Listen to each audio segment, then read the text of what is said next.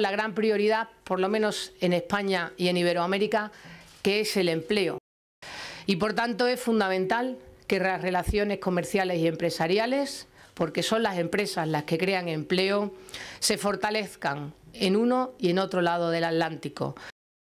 Nosotros vamos a seguir insistiendo, a seguir haciendo lo posible desde España para que las relaciones entre la Unión Europea y Iberoamérica sean privilegiadas y lo sigan siendo. Y esa relación entre nuestras empresas significa más Iberoamérica, pero significa más empleo. Sigamos trabajando juntos, sigamos revitalizando la relación en Iberoamérica. Y lo debemos de hacer con economías más abiertas, más conectadas y también más diversificadas, con más inversión, apoyándonos en una mayor seguridad jurídica.